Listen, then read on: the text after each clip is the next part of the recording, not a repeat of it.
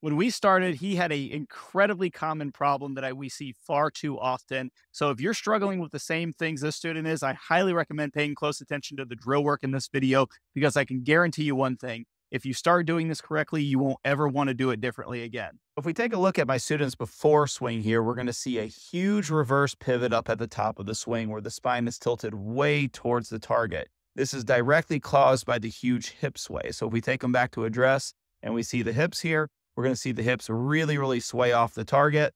And this issue makes it literally impossible for you to develop a consistent, repeatable swing because you're, you're essentially you're moving your bottom point around. When your back leg is swaying all over the place, things can get way out of whack very quickly. And as you can see, this player, like most players, is struggling very much with getting any kind of forward shaft lean at impact. And that's where we're going to see the nice flip going through impact where the club passes the hands much too quickly. So to eliminate the issue of the hip sway causing the reverse pivot, we worked on stabilizing the back leg so that we could have the ability to maintain our spine angle. Because when our hips sway, we move the bottom of our spine away from us. And when the bottom of the spine goes away from the target, the top of the spine tends to want to tilt towards the target. So if you're familiar with the top speed golf system and the stable fluid spine course, you know that we want to have a spine angle away from the target and we want to maintain that angle all the way to the top of the swing. So, a very good line that you can draw on your own swing is one right off the back leg to start checking to see if you have hip sway. So, we're going to do this right off of our student swing here, and we're going to go all the way to the top of the swing. And we're going to very clearly see a huge hip sway where we have almost half of our leg through that line. So once we got that back leg stable, as you can see here in the after swing where that leg is not breaking that line, my student had the ability to maintain his spine angle. And you can see a complete 180 difference where the spine angle is tilted away from the target versus towards the target.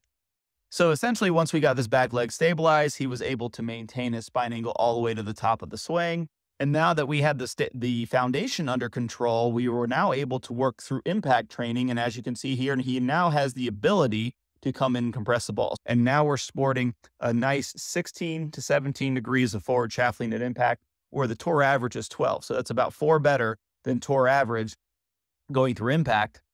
And we're releasing the club face with a beautiful stable face with a perfect straight line release also from the top speed golf system where the club splitting the forearms in two out in front, which almost automatically leads into a nice, beautiful finish. So if we take a quick look at our before and after swings side by side, we can clearly see huge mechanical differences all the way at the top of the swing as far as the spine angle, complete different spine angle, going into impact with beautiful forward shaft lean versus flipping and releasing stably out in front.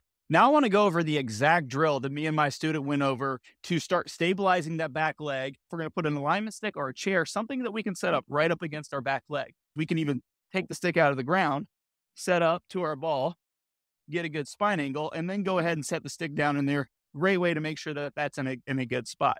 And we want this at a little bit of an angle because we want this almost touching our mid thigh height level.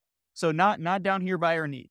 And what we're going to do is we're simply going to do some backswing training only. What with, while maintaining our spine angle, we're going to turn up to the top of our swing, nice big full turn, without letting our leg bump this, just like we saw my student do, where he was bumping and getting the, the, the spine to tilt towards the target versus keeping this leg nice and stable all the way to the top. And this is very simple, guys. Is one of the reasons I love this drill so much is because it's just training. There's no trick to this. It's just very hardcore, nice fundamental mechanics they keep you in a very nice spot and keep that back leg stable. So what we do is we get some backswing training in, making sure I have a spine angle and a stable back leg. Then we use that same feel when we take the object out of the way, the chair, the stick, whatever we're using, to make some nice, easy swings. And what I want you to imagine here is I want you to put a fence around the outside of your leg and the inside of your leg and say, hey, my leg can rotate in this fence as much as it wants, but we don't want it to change locations. We want it to stay right where it's at. Now, a little key extra note here is it can actually go inside that fence just a little bit, but we never want it to break that fence. Okay, so we're going to keep that leg nice and stable. We're going to use that same feel from the drill, and we're going to make some nice, easy swings, really feeling that back leg stay nice and stable.